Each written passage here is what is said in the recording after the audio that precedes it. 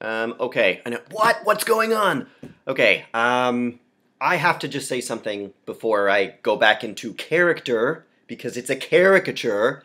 If I get one more nasty comment or private email telling me what an awful bigot I am, I'm going to lose it. The word satire. D- this is. Do we not know what this means? I'm going to read it to you.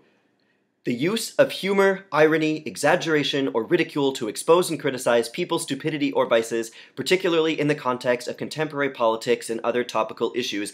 Asterisk, I don't think Mormons are stupid, but having been one my entire life, I know how it works.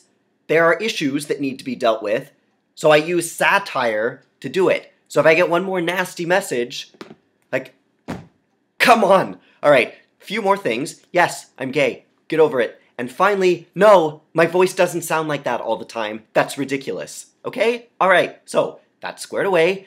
And now Mormon Ambassador, the caricature can come out. Yay! Okay.